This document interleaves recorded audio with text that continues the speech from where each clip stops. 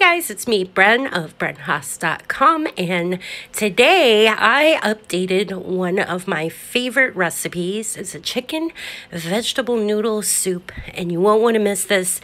It's super easy, and we're using a pressure cooker. In today's recipe, I'm using the Power Pressure Cooker XL 10 quarts, and I've got it plugged in, and we're going to go ahead and heat up the pot here I usually set it on the meat setting, which is going to get this pot nice and toasty, and it's going to melt the ghee I just put in. So ghee is a clarified butter. I love it, and I share more about it on my website at brenhaas.com. It's really good.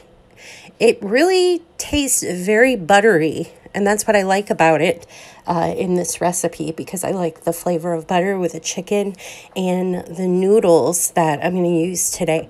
As that ghee is coming to temperature, I'm going to share with you a shortcut. I'm using rotisserie chicken from that chicken I love to buy from Costco. That's about two cups of chicken shredded up here.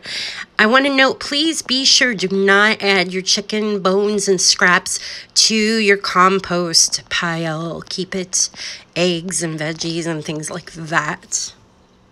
Looks like that clarified butter in the pressure cooker is ready to go.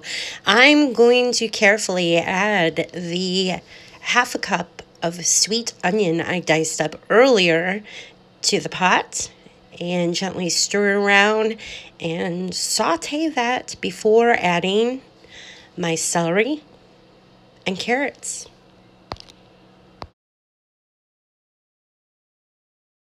Be sure to use a rubber spoon or a wooden spoon so you don't scratch up the pot, of course.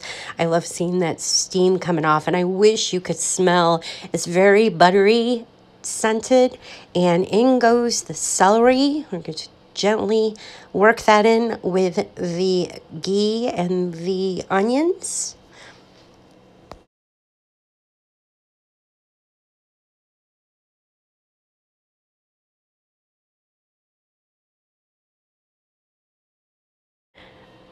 Okay, after shredding the chicken, I also took three good sized carrots and shredded them using this handy dandy accessory in my kitchen. Just love these. And in it goes carefully. Look how great that chops it up. I'm going to add that to the celery, onions, and ghee and gently stir that in a bit. We're not really going to let that cook down because that's what the pressure cooker is going to do when we start this soup up. Next, I'm going to slowly start adding my four and a half cups of water to the mix.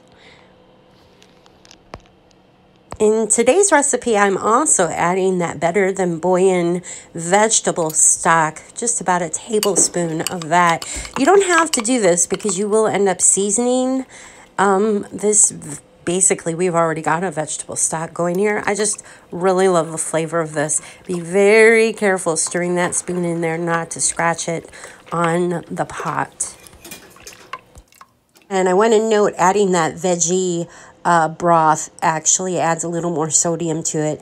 Now we're going to carefully stir in that rotisserie chicken that we shredded up earlier.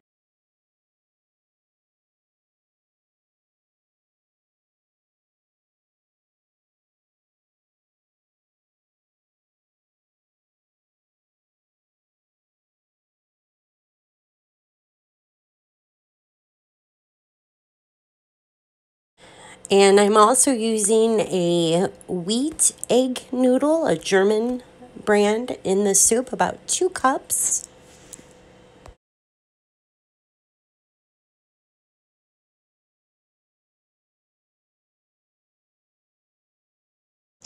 And in goes the poultry seasoning and a little bit of cayenne spice, and of course, fresh ground pepper. We're going to mix those ingredients together before taking the lid and adding it to the pressure cooker.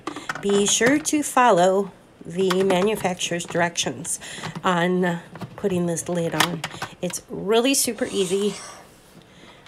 Just a little turn, but just check those directions.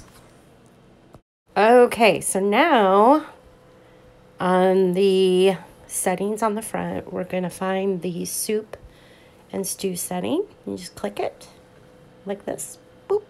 And it's going to count down 10 minutes once the pressure is ready to go. This is what it does.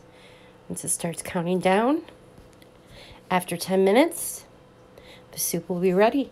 I was super busy today, so I let this sit for an extra 10 to 15 minutes before coming over and releasing it. And look, yum, it's soup time.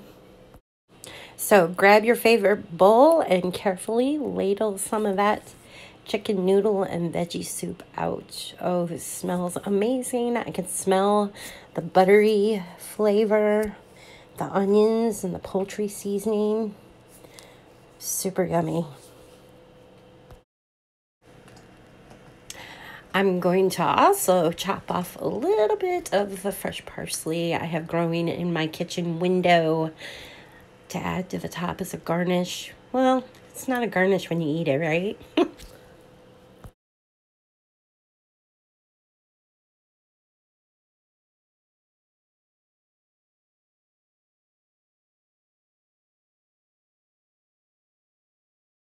Just a few little snips on top. And there it is.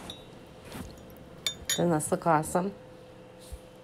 Every spoonful has a little bit of onion, carrot, celery, chicken, and of course the noodles because they're finely diced. Doesn't it look awesome? Can't wait to give it a taste. Here we go. Mmm delicious. There probably will not be any leftovers. And it was all made in my pressure cooker.